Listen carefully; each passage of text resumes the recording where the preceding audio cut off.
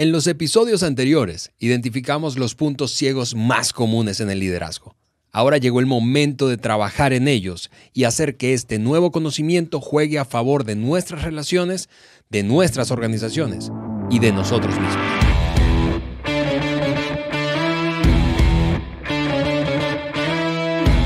Bienvenidos al podcast de liderazgo de John Maxwell, conducido por tu amigo Juan Beriken. Y estoy en compañía de mi gran amigo Alejandro Mendoza. Ale, qué bueno que estás aquí. Hey Juan, gracias. Gracias nuevamente por abrir este espacio. Nosotros eh, es emocionante este momento porque estamos en el aire, es decir, lanzando episodios del podcast de liderazgo del Dr. Maxwell en español desde hace casi un año. Y honestamente no paro yo, y, y es tu caso también, Juan de escuchar historias de cómo el podcast está agregando valor a las personas a lo largo de toda América Latina, lo que me lleva a decirte que a ti que nos escuchas, especialmente si nos escuchas por primera vez, que estamos comprometidos en darte herramientas para que puedas tomar mejores decisiones y así tener una mejor vida. De eso se trata el podcast. Y eso es nuestro deseo. una mejor vida para todos. Y, y Ale, como dijiste en el teaser, hoy ya nuestro episodio se trata de ya solución. Correcto. Em, eliminar, reducir o por lo menos ya confrontar esos puntos ciegos y poder ver cómo, qué hacemos con ellos. Eh, si los podemos quitar por completo y qué debemos de hacer. De eso se trata nuestro episodio. Pero primero, si tú estás con nosotros escuchando o estás viendo a través del canal del YouTube, saludo. saludos a todos ustedes, em, altamente recomiendo que bajen la hoja de discusión para ir repasando juntos. Y em, yo quisiera que de una vez eh, suscribas al, al, ya al podcast para recibir cada semana. Yo lo recibo. Yo también. Yo lo recibo. Cada miércoles. Sí, hay, de repente... Como a las 5 de la mañana. Aparezco yo. con, mi amigo John Maxwell y digo, ahí estoy yo. y, a mí me encanta. Me recuerda, ah, ya salió el podcast, em, lo, lo, puedo escuchar. Así que yo quiero... Em, animarte a suscribirte dentro de nuestra página web, podcast de liderazgo de John Maxwell, y ahí vas a estar recibiendo toda la información y estamos en contacto.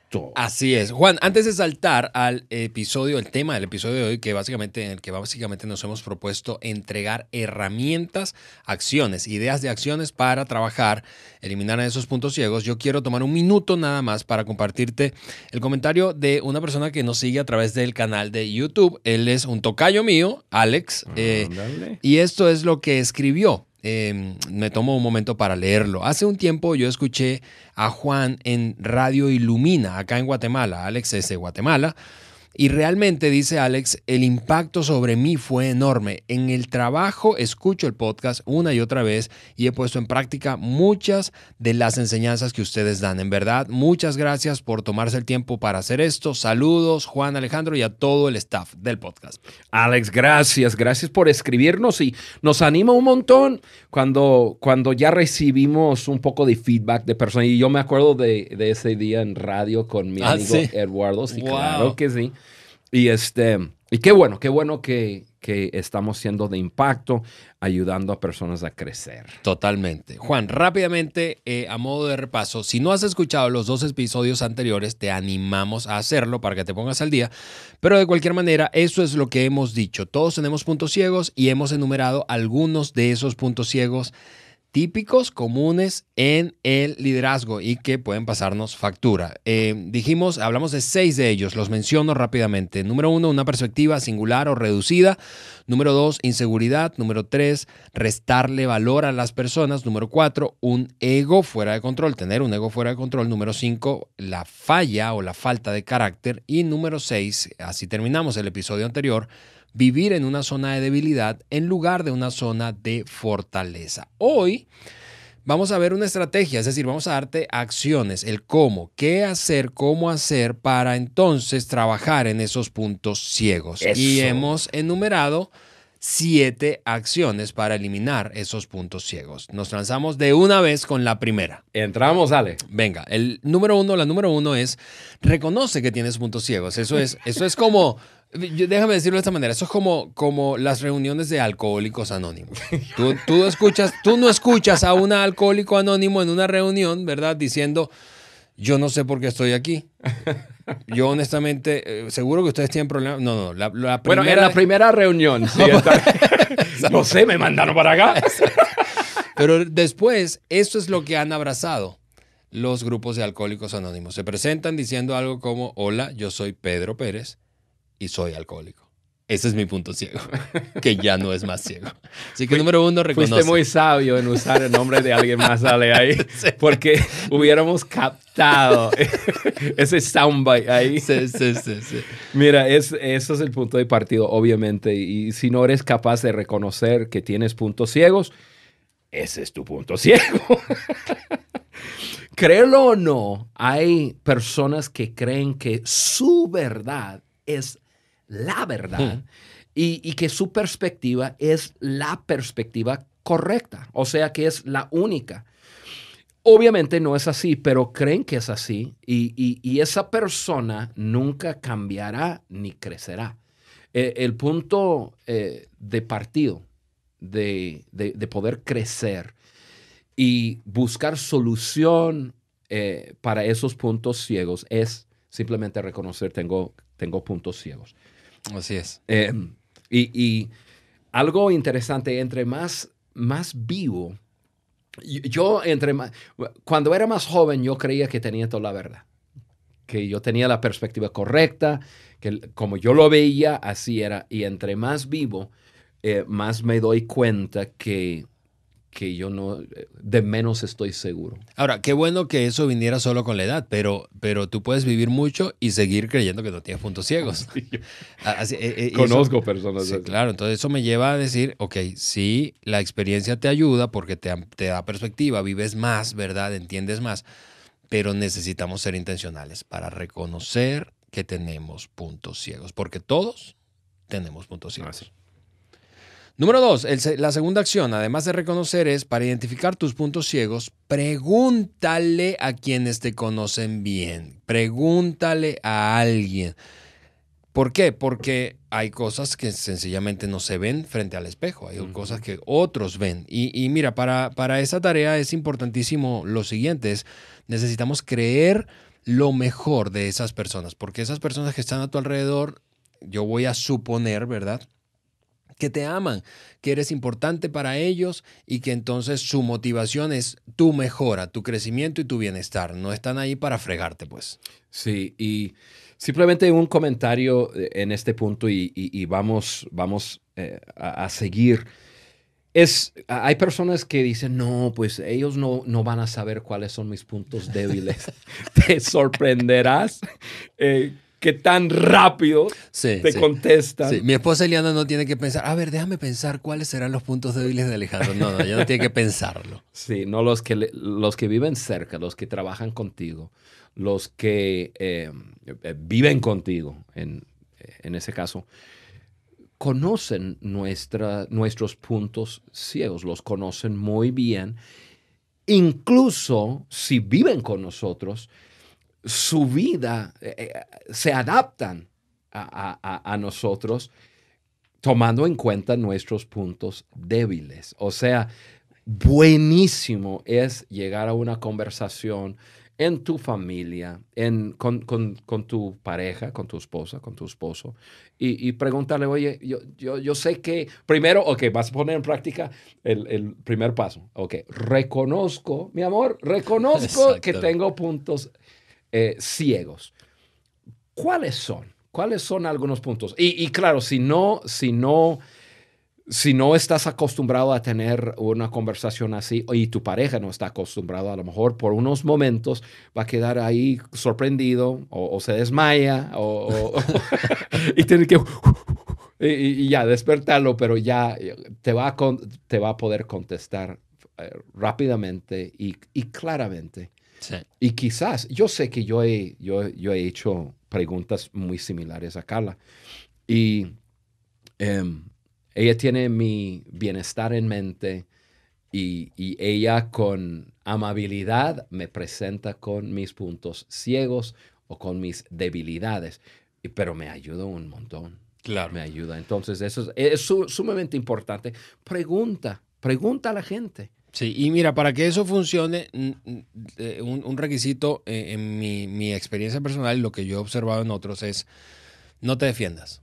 O sea, cuando preguntes un punto ciego, es cuáles, cuáles a la gente que está a tu alrededor y te los digan, no empieces, a- eh, eh, eh, no sigas la conversación diciendo algo como, no, pero déjame explicarte por qué es que yo hago eso o por qué fue que lo hice. No, no, no te defiendas. No, no empieces a argumentar. No puedo decir, ¿qué? Exactamente, nada de eso, nada de eso es.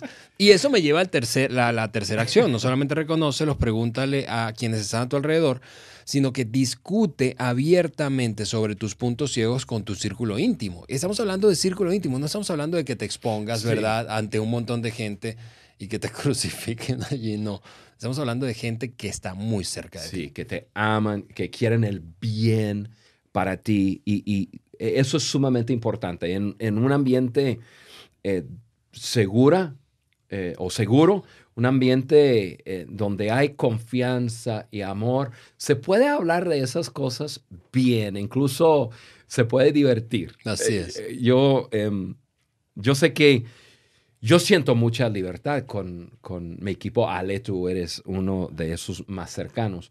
Em, pero hablamos, hablamos de eso, hablamos de y nos reímos de nuestras debilidades o puntos débiles a veces.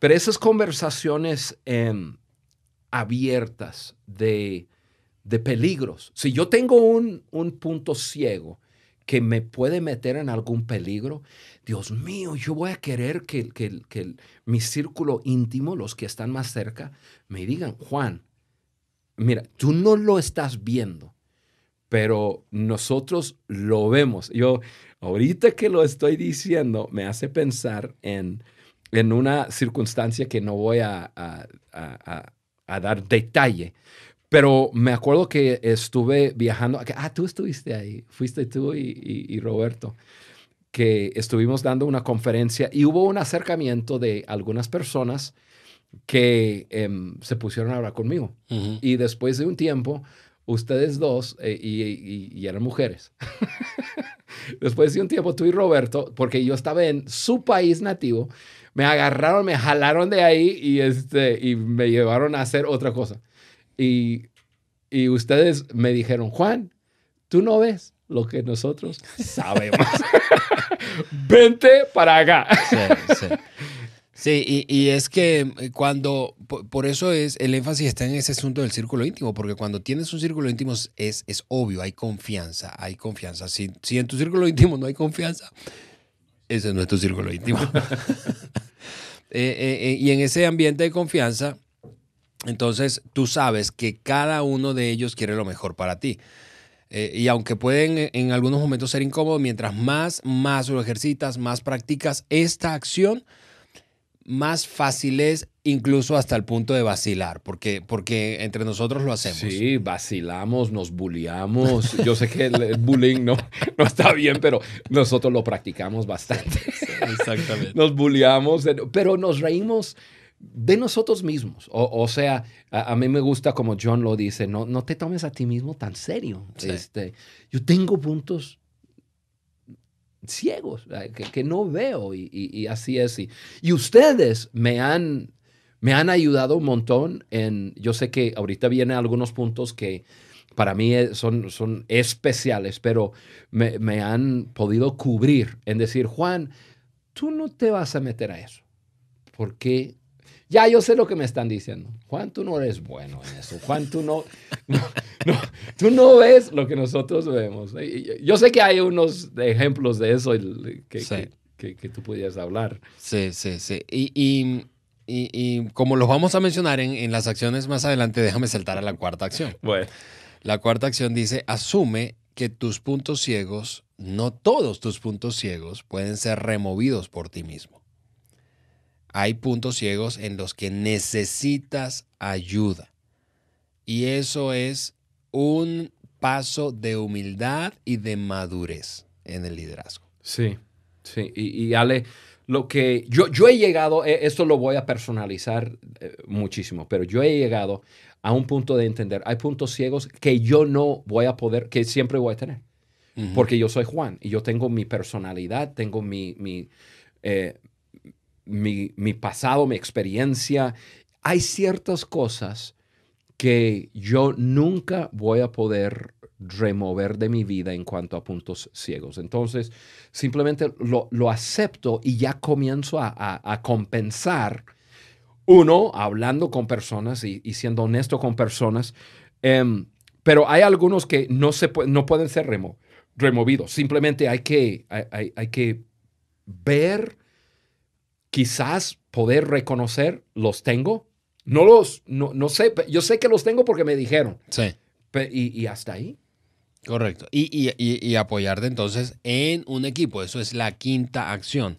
Desarrollar a un equipo que pueda cubrir esos puntos ciegos. Mira, yo, yo aprendí hace mucho, muchos años, precisamente del doctor Maxwell, que mi rol, en, en, otro de mis libros favoritos, por cierto, del doctor Maxwell, el, líder de 360 grados, eh, eh, que mi rol como un líder intermedio, es decir, yo tengo a alguien a quien le reporto o es mi líder y tengo gente que es colega y tengo gente a quien estoy desarrollando o colabora conmigo y me reporta, por lo tanto. Mi rol en mi relación con mi líder es atenuar sus debilidades, es decir, yo ayudarlo en sus puntos ciegos. Yo debo ayudarlo en sus puntos ciegos. Yo no debo ponerme en el plan y la postura de no, pero qué, qué, qué, qué embarrada. Yo no, no, no, no, no, no, soporto más esa debilidad. No, yo tengo que ayudarlo en sus puntos ciegos y por eso es tan importante desarrollar un equipo que pueda ayudarte a cubrir tus puntos ciegos. Aquí está la magia. Aquí, este es el punto a, donde yo quería llegar. Porque está bien, removemos todos los puntos ciegos que, que, sean posibles en nuestras vidas, pero va a ser imposible quitar y remover todos.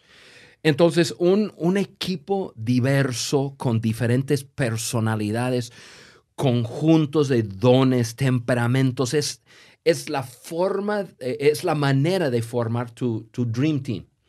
Un Dream Team, o sea, un, un equipo de, de, de superestrellas, está compuesto de personas con diferentes habilidades, dones, perspectivas, hasta a mí me gusta culturas, nos ayuda un montón que tenemos personas de diferentes países eh, que trabajamos juntos porque nos, nos ayuda en, en, en, nuestra visión y cómo vemos la vida. Pero es la forma de hacerlo y, eh, una parte principal de armar un equipo así, un equipo que es tan diverso, es en poder compensar esos puntos ciegos el uno para el otro. Y, yo voy a usar nuestro equipo para eso. Ustedes, tú, Roberto y algunos eh, más, eh, me cubren porque yo tengo puntos ciegos y, ustedes saben cuáles son. Y básicamente me dicen, Juan, a eso no te metes, eh, te vamos a cubrir aquí. Em, tú quédate en tu zona de fortaleza que hemos hablado y, y te cubrimos. Y y nosotros también te ayudamos a ver que no debes estar en, quizás en esa posición o haciendo tal trabajo. Sí, así es. Y, para mencionar ejemplos, eh, em, una cosa en la que tú eres em, muy bueno es en visionar, e, e, es, ver hacia adelante y, e inspirar al equipo para ir en esa dirección. Pero no eres tan bueno dando seguimiento, entonces eso es un punto ciego quienes estamos a tu alrededor sabemos eso, porque eso, por cierto, está conectado con una, con, desde mi punto de vista, una virtud, es que confías demasiado en la gente. Así que tú dices, le dices a Germán, que está aquí en, el, en, el, la, cabina. En, la cabina, ¿verdad? Le dices, Germán, eh, eh, eso es lo que hay que hacer, así, así, asado. ¿Listo? Ya quedó, listo. Ya está. Y, tú supones que lo va a hacer porque tuviste una conversación. Pero eso amerita otras conversaciones, preguntas que surgen en el camino, el ritmo que lleva quizás no es el que... ya le dije. Exacto, entonces eso es un punto ciego. Quienes estamos a tu alrededor em, y llevamos años trabajando juntos, lo sabemos y, y, en vez de estar quejándonos y criticándote por eso, eh, eh, lo que hacemos es, ok, vamos a darle en ese punto ciego apoyo, ayuda a Juan.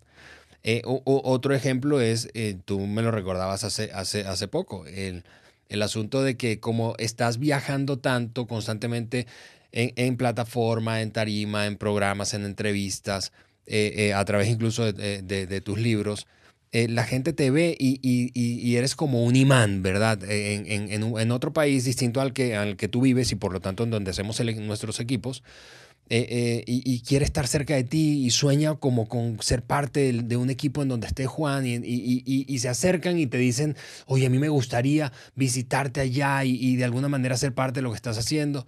Y entonces como tú eres tan visionario, sí, sí, ¡Vamos, vente, vámonos! Entonces, típicamente lo que hemos aprendido es, ok, cuando eso pasa, ok, Juan, te hemos dicho, yo recuerdo al menos de Roberto y de mí, dile que hable con nosotros. Porque aquí lo vamos a ayudar a construir claras expectativas, porque la gente piensa que va a ser uña y mugre con Juan. Pero Juan viaja 40 semanas del año, eh, por lo tanto apenas está unas 12 semanas en suma aquí en la ciudad donde, donde está tu casa.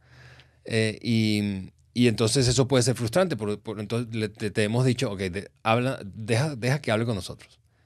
¿Por qué? Porque no te das cuenta que alimentas una, o sea, como eres un imán, alimentas una gran expectativa cuando la gente quiere estar cerca, pero luego, ay, es que Juan no está. y, ahí está, regreso a decir, ahí está la magia. Em, yo agradezco tanto a Dios por el equipo que hemos podido formar aquí, porque estamos cubriendo nuestros puntos eh, ciegos. No, no estamos en competencia, complementamos el uno, nos complementamos, ¿no? Y, este, y eso es un punto, eh, también te cubro a ti con esos, no sé, 25, 30 puntos ciegos. Que tú tienes. Exactamente. Sí, fíjate, yo pienso en alguien de ahora de un equipo que yo estoy liderando que, que, que, forma parte de esta gran familia que hacemos. Eh, eh, él se llama Luis Fragoso. Luis es un tipo extremadamente divertido, mucho más divertido que yo. A mí me encanta divertirme, pero no soy bueno para generar diversión. Eso es un punto ciego. Entonces, yo no soy el alma de la fiesta, así lo digo yo. yo y no me voy a convertir en eso. Yo vacilo y me encanta reírme y me encanta una fiesta. pero Luis hace reír a todo el mundo todo el tiempo. Entonces, eh, eh, Luis es eh, quien trae esa energía positiva, incluso en momentos de, conversaciones de, tensión difíciles, de temas serios. Y por eso es que el valor de la diversión sigue siendo un valor para nosotros. Imagina esto, la diversión es un valor fundamental de todas las organizaciones en las que estamos nosotros aquí contigo, Juan. y, y yo pudiera descalificarme pensando, bueno, yo no soy bueno para crear tanta diversión, no, pero en vez de hacer eso, me apoyo en alguien del equipo que cree diversión. Y me divierto, porque a todos nos gusta divertirnos. No todos somos muy buenos creando diversión, pero sí todos nos, nos gusta divertirnos. No te preocupes, Ale. Te conseguimos una trompeta y te, y, te alineas con los mariachis. Exactamente, exactamente. Y, mira, eso me lleva al, punto 6 y es no solamente desarrollo un equipo que pueda cubrir tus puntos ciegos, es el, es el quinto, pero el sexto es empodera a ese equipo para que te cubra, porque, ok, puede estar allí y ellos pueden compensarte, pero tú no los dejas. Sí, bueno, en sí hablamos un poco de eso, pero yo tendría que decir, si tú tienes eh, un equipo que no está empoderado para cubrir tus puntos ciegos, yo creo que tienes otros problemas. de inseguridad, por ejemplo. Un, asunto de, liderazgo, eh, realmente, sí, claro. Em, empodera a la gente a, usar sus dones y habilidades al máximo y, este, y, entender que la dinámica de un equipo es, em, nos agarramos del brazo el uno al otro y yo soy fuerte donde tú eres débil y, y, tú eres fuerte donde yo soy débil y nos cubrimos y nos compensamos el uno para el otro y, jalamos. Si lo que uno tiene en su mente es un equipo de, entre comillas, trabajo, nada más. O sea, trabajo. Trabajamos. Eh, sacamos proyectos y quizás no debe de usar la palabra equipo, eh, grupo de personas eh, de trabajo, qué sé yo, pero un equipo es cuando ya hay personas que van en una, una misma dirección, quieren llegar al mismo destino. Hay comunicación y cooperación para llegar ahí. Y entonces, e, ese empoderamiento, yo nunca, Ale, no creo que, te, que, he tomado un tiempo para decir, estás Alejandro empoderado. Mendoza empoderado para poder ayudarme. No, es parte de la dinámica de un equipo. Em, y, claro, yo no quiero asumir que todo el mundo tiene lo que nosotros tenemos. Si tienes que hacerlo, está bien. Hazlo en una forma amena, comienza a abrir conversación con el equipo, une el equipo a decir, hey, estamos aquí el uno para el otro. Y eso significa que vamos ayudando cada uno con nuestra fortaleza, con nuestras perspectivas y vamos cubriendo a, las personas en sus áreas débiles. y si es tu forma de empoderar, dale, pero pero hay que empoderar. Sí, y, finalmente, entonces eso, el hecho de tener un equipo desarrollado que te cubra y te ayude en tus puntos débiles y estén empoderados, tu respuesta como líder, mi respuesta debe ser el punto 7, es la séptima acción es valorar a esas personas que cubren nuestras debilidades, valorarlos, agradecerles, tenerlos en alta estima, dejárselos saber, apreciar el hecho de que se acerquen contigo, ¿verdad? Y te hagan saber algo que no estás viendo, en vez de, de batearlos cada vez que te traen algo que no te gusta escuchar. Ale, quiero terminar, em, porque, bueno, valorar a las personas por lo que traen a, la mesa debe ser parte de nuestra vida. Entonces, estoy asumiendo que, que nuestra audiencia ya lo entiende. Acabamos de ver siete, vamos a decir, siete puntos, siete em, acciones. Y, yo simplemente quiero que veamos que solo hay uno que uno hace solo. Es el primero. El primero es que tengo que reconocer. Eso, bueno, lo hago solo, pero el, el punto número dos o la segunda acción me ayuda. Pero el primero es simplemente una decisión. Ok, tengo puntos débiles y necesito admitir o reconocerlo. Todo lo demás tiene que ver con otra gente. O sea, en pocas palabras, para tratar con nuestros puntos ciegos, nosotros necesitamos a otras personas. Em, no podemos hacerlo solo.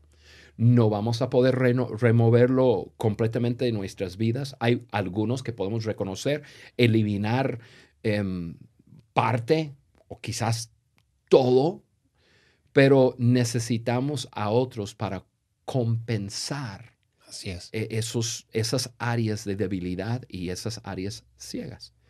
Em, y, eso es la respuesta. Lo, que quiero dejar con nuestra audiencia es todo lo que hablamos por tres semanas ya en estos tres episodios eh, que tiene que ver con puntos ciegos. Ya identificamos seis y luego hablamos de siete maneras de, de cómo tratar con, con en los puntos ciegos, la respuesta está en no debes liderar solo. La persona aislada se va a meter en problemas. ¿Por qué? Porque tiene puntos ciegos. Y esos puntos ciegos se van a levantar y se van a hacer más grandes, más grandes, más grandes, más grandes, hasta, hasta destruir lo que la persona desea hacer con su vida.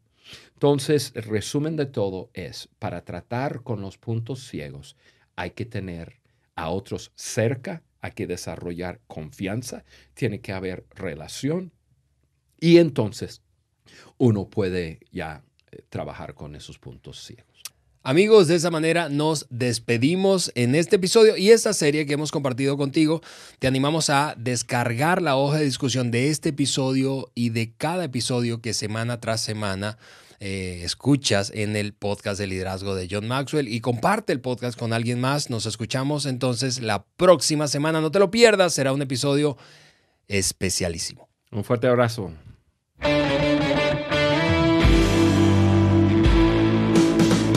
Por acompañarnos en el podcast de liderazgo de John Maxwell por Juan Beriken. Para nosotros es muy importante saber qué opinas de nuestro contenido. Por eso te pedimos que nos dejes un like y tu comentario en cualquiera de las plataformas por donde nos escuches, iTunes, Google Podcast o Spotify. También puedes ingresar a podcast de liderazgo de johnmaxwell.com. Suscríbete, descarga las hojas de discusión y conéctate con nosotros a través del link de WhatsApp que vas a encontrar ahí. Juntos seguimos añadiendo valor a líderes que añaden valor a otros.